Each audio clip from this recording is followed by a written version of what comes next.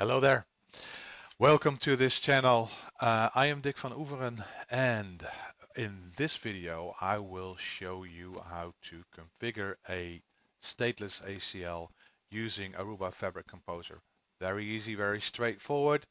Um, so with the data center networking uh, security, you know, security features, what we can do is we can have stateful layer 4 firewall security being enforced on the 10K switch. But we still have the option to also create stateless ACLs. Uh, and that's just uh, ACLs that are enforced on the interface. Um, and, you know, you can also filter protocols uh, based on the stateless uh, layer 3 ACLs. And that's what I'm going to show you it's going to be a very short video, uh, not too long, because it's very easy to set up. Let's uh, get started. Now, before I configure the stateless ACL, obviously we have um, a policy being enforced through the DSM. So what I'm going to do first is I'm going to remove that policy from um, from the DSMs. I can do that here. Uh, actually, um, so what I do is I will remove this enforcer. Uh, so what I only have is the ingress enforcer, which is still for network 1204. Okay. Um, so any VMs that are on network 1203 should now be able to communicate with each other. Okay, so I remove that one. Just quickly check out PSM here. That works. You can see that the block SSH policy um, is not being enforced on egress, which means that if I go to my 104 host,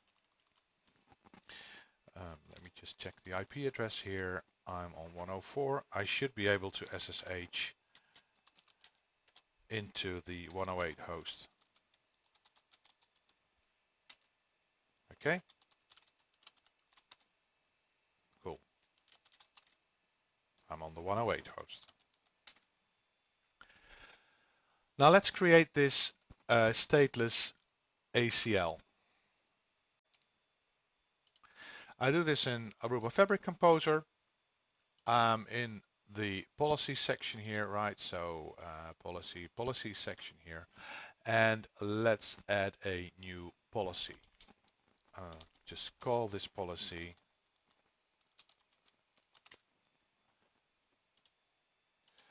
um, it's going to be a layer 3 ACL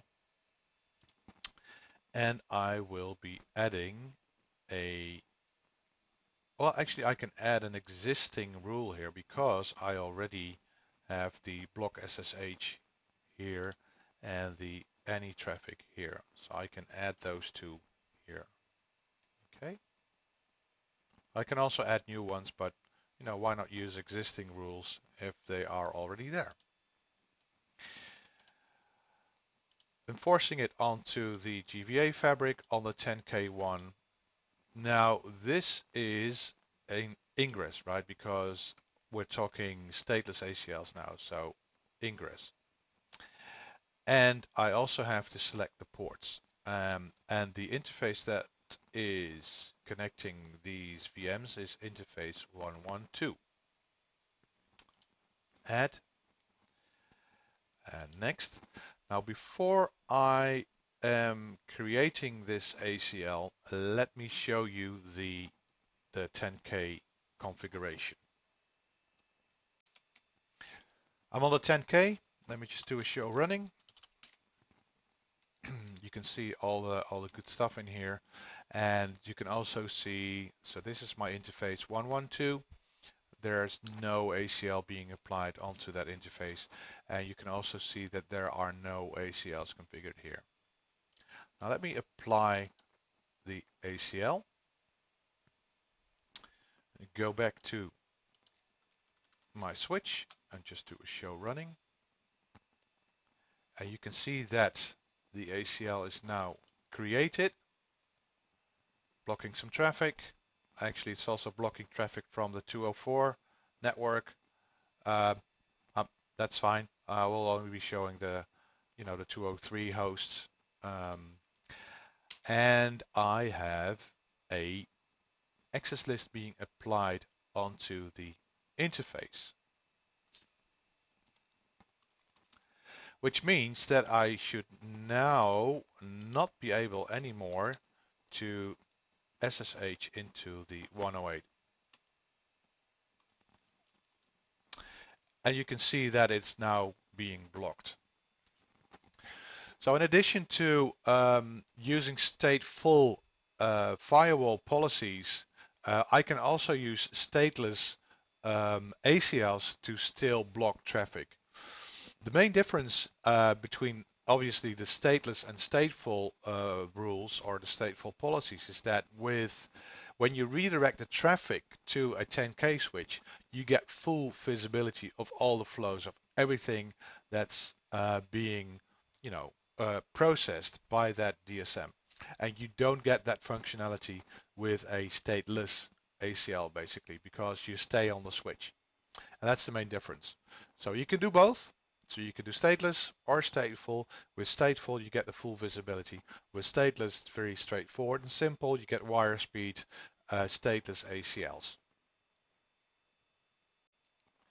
Now, before I finish off, let me show you another cool feature that we have in AFC. Uh, what we can do in AFC, we have a CLI command processor, which is really cool because what this allows me to do is it allows me to run CLI commands from the AFC uh, GUI. And so what I can do, for example, is I could do a show access list. And I can run that command.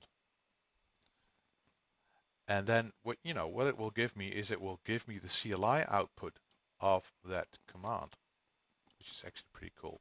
And you can download the results and you can also download the JSON data uh, of these results. That's a really cool feature that we have on AFC.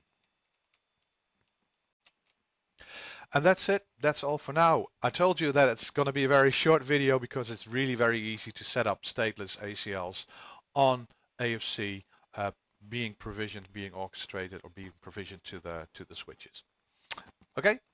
Next is um, a video covering like a dynamic, you know, uh, assigning uh, rules to a policy based on the dynamic flow information that we're getting of the DSM switches, uh, of the of the DSM chips on the 10K switches. Um, so, hope you liked the video. Any suggestions or feedback, very welcome. And see you next time. Bye bye.